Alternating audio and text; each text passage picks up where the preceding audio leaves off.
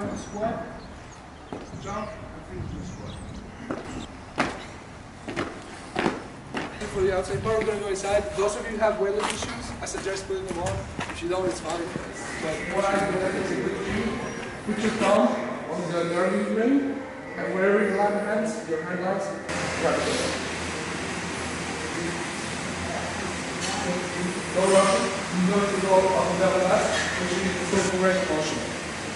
Be patient off the floor. Patience, patience, patience. When you hit, then you can explode really fast. But before that, there's no need to rush it. And also, there's no need to rush going down.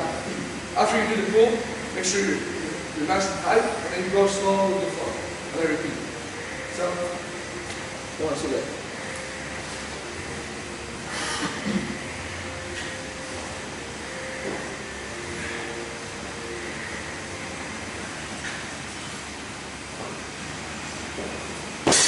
Another very complicated way people don't use your core properly. I want your abs to be engaged throughout all the movements we're doing.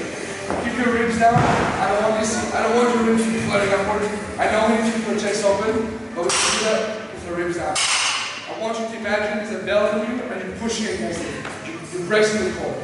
Bracing the core is so important for. So, like, when it's a huge, it's a little thing, like, yeah. So, the back is up to the last set. It was a good set, but the back is up. Yeah. Make sure you're.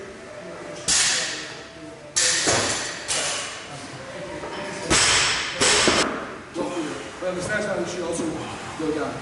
Yeah, like you push up and you push yourself down. That's why it's really important to be stable in this position. A lot of people can do the lift, but they can't stay there for over three seconds. We have very small muscles in the back that makes us stable in that position. And we're doing a lot of overhead work to work this. This actually will be okay because we go light, lighter on the snatch and we do another exercise. It's, it's mostly technique. So if you do the pull and this portion well, you will do this snatch.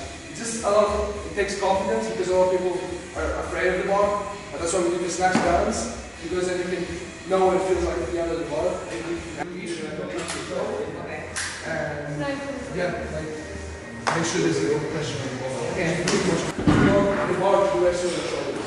Right.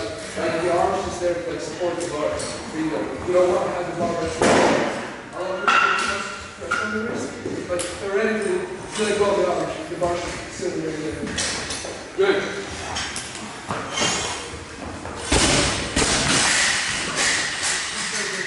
Don't drop the bar again. You know, but like, make sure you push the through this part of the, of the. Okay. So that's, Okay. yeah, that's it. I don't think the side doesn't have where it's yeah. sure, but if you think about when you get vertical jump, you're not like you're jumping from the mid foot. Yes. It's the same technique. I want you to push to the mid foot, mid, mid foot, and stay on that position, and then extend out. They call this Superman. So we're gonna do one arm, one leg. Like this. Uh, I want hands and feet on the ground. Make sure you're using your core muscles. Again, it's too hard with crunches. When you need to get used to using your abs. Whether it's all about posture.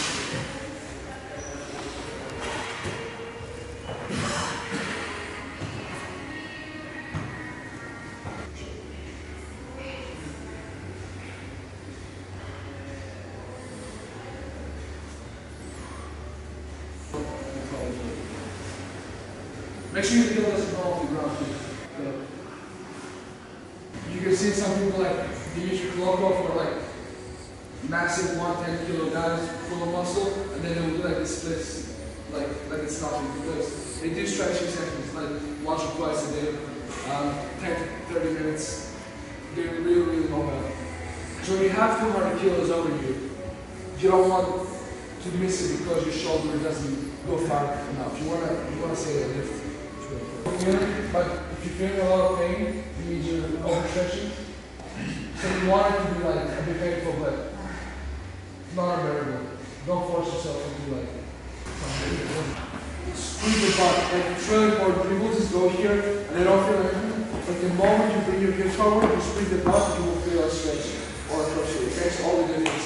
Like honestly, people you see people doing like this and feel like I don't feel anything, but bring them here vertically, squeeze the the body and you will immediately feel it's